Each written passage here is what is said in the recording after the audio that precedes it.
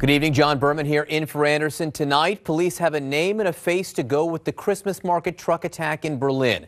However, their suspect, this man, a native Tunisian named Anis Amri, is at large. Authorities say he could be armed, he could be violent, and here's what's worse. He was already on their radar before Monday's horror unfolded, and a dozen people lost their lives. Now, not only was he known, at one point he was in custody. Tonight, he's a fugitive. CNN's Erin McLaughlin joins us now live from Berlin with the latest on the search for him. And Erin, what are we learning about this suspect?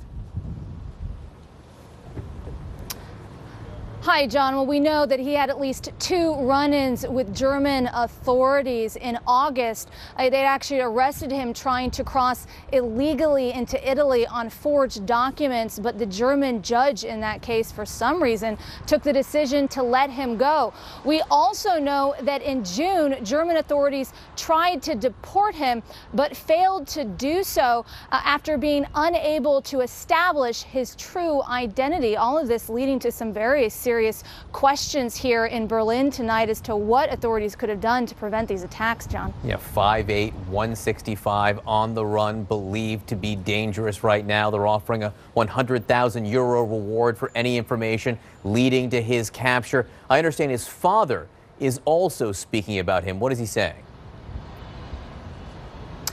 That's right. His father gave an interview to a Tunisian radio network in which he said that his son left for Italy when he was a teenager.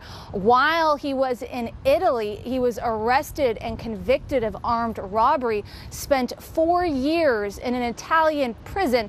He was released from jail, and that's when he made his way to the Cologne area of Germany. It was there that he, uh, he had, according to his father, run in with Islam Already leading to some fresh questions tonight as to why the Italians simply let someone who was convicted of armed robbery, someone who was not supposed to be in the EU, simply walk away from prison and make his way to Germany. Someone who was very clearly on their radar. Erin, last question. You're in Berlin. Just curious at this point, several nights after the attack, what's the security posture on the streets there? Is it visible?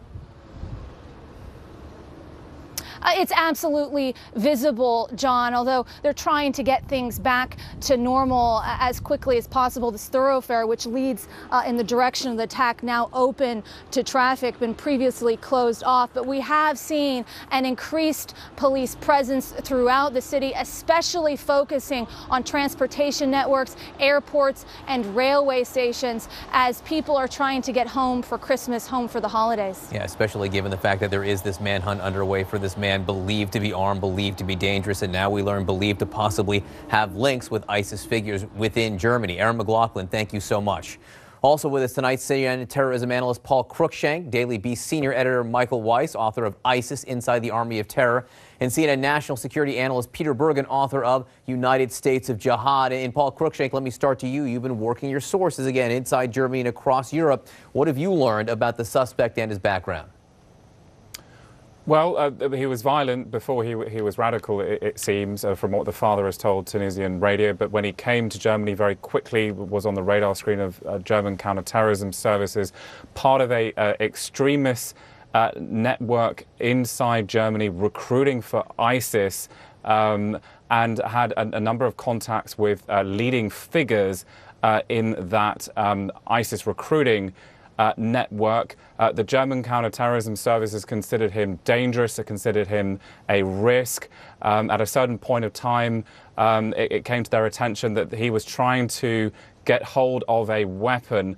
Uh, so there were a lot of um, alarm bells that were ringing uh, within uh, German security services uh, when it came to this individual. Uh, but it appears a lot of balls were dropped, uh, and he was still able to launch this attack. And, and, that will be the source of many, many questions. Already is, but certainly going forward. Michael, you've been working your sources as well. Anis Amri believed to have contact with this German figure, this man named Ahmed Abdulaziz, as nom de guerre is Abu Walaa, head of a, of a pro-ISIS network inside Germany. What do we know about him? He's been arrested and charged with terror offenses last month. Yeah, along with four other guys in his pro-ISIS network. Um, according to a guy who had actually gone off to Syria and joined ISIS and then defected because he renounced the ideology, Abu Walaa, as, you, as he's known, uh, is the number one ISIS recruitment director in all of Germany. This is the, the mastermind of German jihad.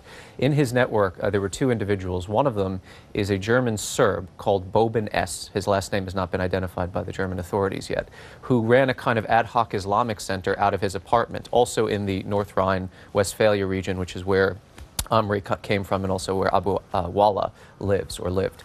Uh, and in this center, apparently, he was indoctrinating any and all customers to the, the Salafi jihadi doctrine and also arranging for people to make emigration to Syria. Now, according to a German outlet that uh, reported on this today, um, uh, Amri was given a choice.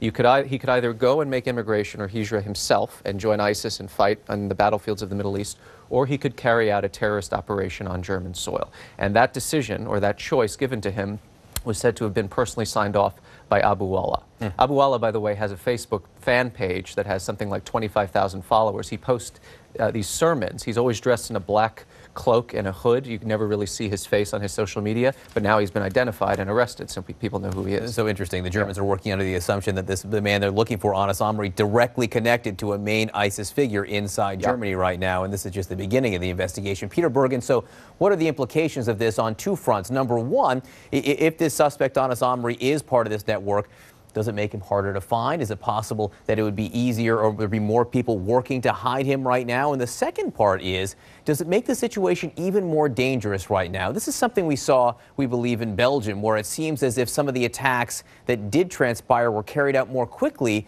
because some of these terrorists felt they, they had to get it done before they were caught. Uh, John, I think the answer is uh, yes and yes. I think the, the fact that there is, you know, he seems to be have some links to the network makes it easier for him to hide. Uh, the fact that there is a network means that it's more likely to carry out attacks. Um, you know, the situation in the United States is quite different. Uh, there's really no analog uh, that we have in the United States where you have uh, as Germany has had 800 Germans go and fight in Syria and get training, and then you know, perhaps thousands of fellow travelers who essentially uh, identify with ISIS ideology. And that story, of course, is true in France, where 1,500 have gone to get training, and there are literally you know, more than 10,000 sort of uh, extremist uh, sympathizers. So in every European country, there is a network that you can plug into, and we saw that after Paris attacks and Brussels. Uh, so, you know, the situation in Germany, which is luckily the Germans really haven't had quite the same problems as the Belgians and the French hitherto, and now we have this attack. Uh, you know, in, in, in, European country after European country, we're seeing uh, that there is a pretty vibrant uh, ISIS support network that is quite different than what we see in the mm. United States. Paul Cruickshank, you know, authorities had him under observation. He was on their radar. They had him in custody at one point, but obviously not enough to keep him. What did they get during that time. And what were they looking for that they didn't get that would have allowed him to, the authorities to place him under arrest or expel him? Well, that's a, a, very good question uh, indeed. Um, they um, did learn that he was trying to, to get hold of a, a gun uh, during uh, that period. They did learn that he had these extremist uh, ties um, inside Germany, uh, including uh, to an individual called Boban Simeonovic, uh, who is the, the, the, Serbian German leading figure in this ISIS recruiting uh, network. Uh, somebody who was close to Abu uh, Walaa that, that, Michael was talking about. All these people were arrested back in uh, November. So just a few weeks ago, they actually arrested five of the key leaders of this recruiting network, but they did not manage to arrest this uh, perpetrator, this suspect in the uh, mm-hmm. Berlin uh, attack, uh, he escaped uh, the dragnet um, in, in those arrests. Michael Weiss, born in Tunisia. Tunisia is a country that has ended up supplying a huge number uh, of ISIS soldiers. By orders of magnitude. I mean, we focus on the, the, graduates who come from the West, but most of the people who go off to join ISIS who aren't from Syria and Iraq come from countries in the Middle East. Why Tunisia?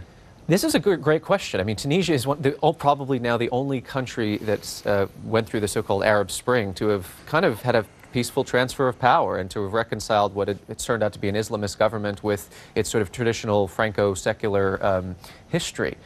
Maybe it's just because they don't find a hospitable environment in Tunisia they're, they're going off and, and wanting to do jihad elsewhere. But it's, it's, it's also a problem the people who return. Where do they then migrate to? I mean, this guy uh, obviously, he went to Italy, he was arrested, and then he got out uh, using forged papers, apparently, to try and come back into Italy. How did he get into Europe, and why wasn't he on on the radars of uh, not just the German counterterrorism officials, but the sort of the EU system that's meant to kind of you know invigilate these borders? These are questions they'll be asking. Hopefully, once they do catch him again, manhunt underway tonight. You know, a warning across Europe, 100,000 euro reward being posted for the capture of Anas Amri. Michael Weiss, Peter Bergen. Guys, thanks so much. Paul, stick around because I want to ask you about surveillance cameras like the kind that led to the Boston bombers or helped capture them ultimately, and, and why we have yet to see this type of video out of Berlin. And then later, with much of Europe now looking for the Berlin truck attack suspect, German lawmakers have started rethinking privacy restrictions that have until now limited the use of surveillance cameras. In a country with a totalitarian past, expanding the tools of the state and especially state security is controversial. However, as CNN's Bryn Gingras reports, it has worked elsewhere. When a bomb exploded during the 2013 Boston Marathon, surveillance cameras showed the smoke rising over the finish line, but that wasn't all they revealed. For investigators, footage from street cameras exposed critical information the faces of the Tsarnaev brothers who set off the explosion and the backpack they used to carry the bomb to the race. Those pictures eventually wallpapered the city and aided in the capture of Dzhokhar Tsarnaev. His brother Tamerlan was killed in a gun battle with police. While footage authorities obtain from closed circuit television sometimes depicts difficult moments to watch, each frame can prove to be invaluable to investigators. It often leads authorities to the suspects, as it did in Boston. In Brussels, twin explosions at the airport and a train station in March were documented by passengers. Cell phone video revealed devastating wreckage through thick smoke. But the investigation quickly centered around this image taken from the airport's surveillance cameras. Three men pushing luggage carts, two of them suicide bombers who police believe wore gloves to conceal the detonators. After a manhunt, authorities arrested the third man in the hat. More recently, on a New York City street in September, closed circuit television showed window storefronts shattering and people running for their lives. NYPD investigators were able to rewind the footage from street cameras and spotted Ahmed Khan Rahami in one location where a pressure cooker bomb was found. Law enforcement officials say surveillance video helps create a timeline of suspects' movements before they take action. Terrorists buying supplies in London before committing a series of attacks on the transit system in 2005. And camera footage obtained by the DailyMail.com shows terrorists taking control of a Paris cafe during a series of attacks in 2015. One of those cameras revealing a dramatic moment when a woman's life was spared because a suspect's gun seemingly jams. Bryn Gingras, CNN, New York. Right, plenty to talk about now. Back with Paul Cruickshank and joining us, CNN national security analyst Juliette Kayyem. And Juliette, you know, German authorities, they have a picture yeah. of this guy. They have still photos of this guy. What we don't have is, is some of that video that we just saw right there, the likes of which we had previous attacks, this chilling uh, footage of, of, these men before they were carrying out the attacks, and it can be instructive. It tells you what they're wearing, where they're headed, what they were doing and part of that can be crucial to launching an investigation. That's absolutely right. But it, it's sort of, it's you can't take Germany out of Germany. I mean, in other words, there's reasons for these rules, and part of it was because of the surveillance state of East Germany. And so there are actual laws that prohibit real-time CCTV in Germany as a counterterrorism measure, as an anti-crime measure. There's actually a political party in Germany called the Pirate Party that is a data protection party. I mean, it actually exists to prohibit surveillance. And so, um, so there will be changes changes, no question about it, because there has been clamoring lately uh, to get more cameras being used by police officers, law enforcement, put them on buildings. I think the amazing thing about what happened this week, though, is there's no iPhone uh, photos either. Remember, Boston was a lot of iPhones. It was uh, private phones. A lot of the cases that you just showed uh, were were not uh, public surveillance cameras. They were private surveillance cameras. So I still find it remarkable that we have no real-time, uh, you know, pr private sector or or a citizen uh, uh, pictures of what happened and, and of someone getting out of the of the truck. You know, it's not clear that they don't exist, right? The German authorities initially asked people not to release them. They wanted them to go to the investigators so they saw them. So we don't know at this point what investigators have. If they do have them, we haven't seen them though, and that is interesting, as you say, because you know you would think that they would want the public now to be helping uh, with whatever information they have. Paul Do you get the sense that this environment that has existed in Germany is now changing or there will be a greater willingness to change? I mean, we know why they feel the way they do after East Germany and, and the Gestapo and Nazi Germany, why they don't want people snooping all the time. But it does seem like they might be more willing to change that now.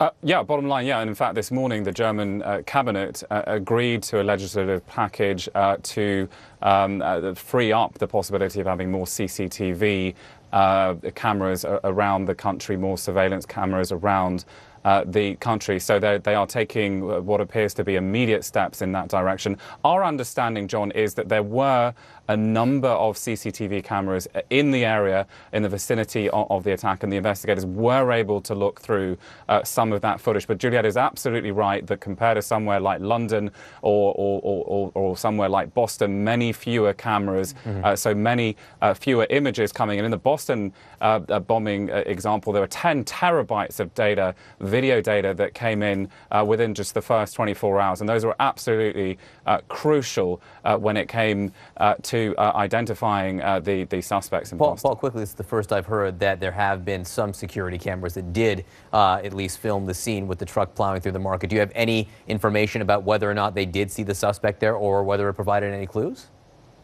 Well, not that they necessarily have footage of the, the truck ploughing through, but that they had access to uh, surveillance cameras in the vicinity okay. of, of the attack. That's our understanding. Got to be clear on that. And the fact there are many fewer cameras means they have much less coverage. And Not I think that data. they would have had a lot more answers more quickly if they had more CCTV cameras. And, and, at the very least, they wouldn't have taken the wrong guy. So remember, we've lost about 24, 24 hours. hours if you had cameras. No one should believe that these cameras will stop terrorism. No one in law enforcement believes, oh, if we just had more cameras, we'd be safer. They are almost in all instances for after the fact identification, um, evidence collection, you know, uh, there'll be litigation, all sorts of things like that, but necessary nonetheless. And, and finally, I'll just say no one wants to pretend this is an easy discussion to have. Right. We're still having debates in this country over privacy versus security. It's not an easy no. answer. It seems easy when you're in the wake of an attack like this, uh, but it is a discussion worth having. Juliette Kayyem and Paul Cruickshank, thanks so much. Coming up, the president-elect meets with his incoming national security advisor and does get the classified presidential daily briefing, which had been a point of controversy to say the least. We're going to take a closer look at how the president-elect is monitoring world events from Mar-a-Lago. That's next.